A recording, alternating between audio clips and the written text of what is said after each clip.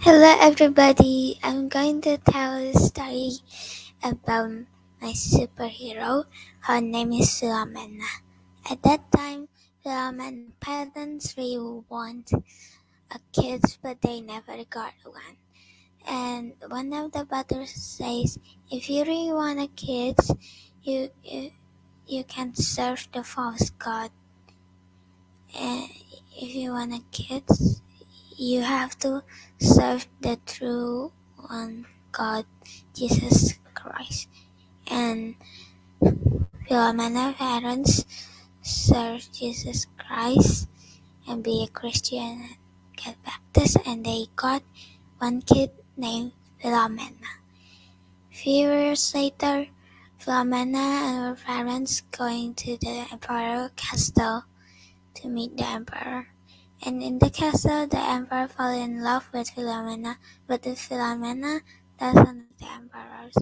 And the emperor asked Philomena to marry the emperor, but Philomena refused no. And the emperor asking, I can give you a castle and gold and everything you want if you marry me. But Philomena still says no. So the emperor got mad and put Philomena into the jail for three days. And because Philomena still refused to not marry the emperor, Philomena been in jail for five more days. And the emperor kept asking and asking and asking to marry Philomena, but Philomena still refused. So the emperor got tired and throw arrows into Philomena and make Philomena suffer. And the emperors making Philomena suffer until the emperor put Philomena in the ocean and sink Philomena for three days.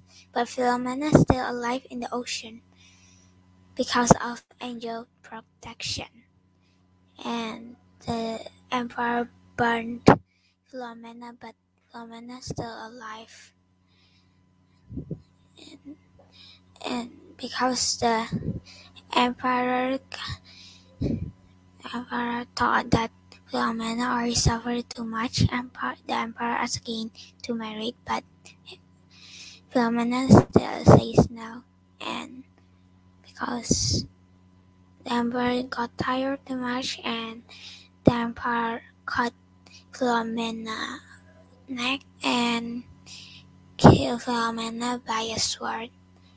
I learned from uh, and that is for the story for the superhero story Philomena and I learned from Philomena to suffer for God and admire the spirits for God and that's it for the story and bye guys